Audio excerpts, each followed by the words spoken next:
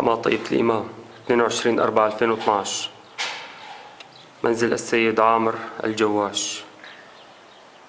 الذي أحرقته شبيحة الأسد